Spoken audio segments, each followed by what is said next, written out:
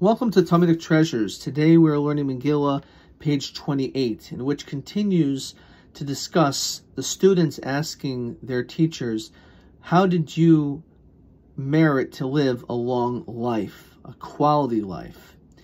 And I'd like to share with you a few beautiful answers. Rav Preida said, Loy kidmeni adam beis medrash, that there was never a time that someone beat me in the morning to the study hall.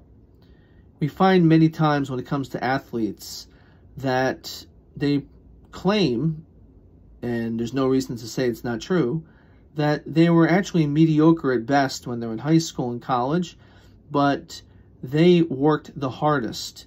They went onto that basketball court and practiced more than anyone else. They're the first ones there, last one out. And that's what made them great by working extremely hard. And that's what he's saying that I became the great person that I did become because of the hard work that I put in. It wasn't just that I was naturally a great scholar, but I worked hard at it. Reb was also asked the same question, and he said a very important concept in Jewish philosophy that if you are forgiving of others, then Hashem, God, will actually be forgiving of you. Because we all make mistakes. And if we look at other people in a more favorable manner and say, okay, so they made a few mistakes. I'm willing to overlook it. So God will also overlook our flaws, our mistakes.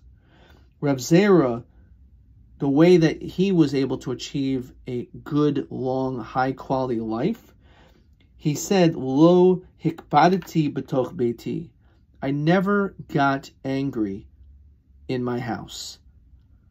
A person sometimes may have a lot of problems at work, and when they get back to their home, they explode, which of course leads to a tremendous amount of tension and stress. So he said, the way that I was able to achieve a high quality of life is I was very careful when I spoke to the people in my home, to my wife, to my children. I always spoke in a very calm and a respectful manner. And in that way, I was able to achieve a very high quality life.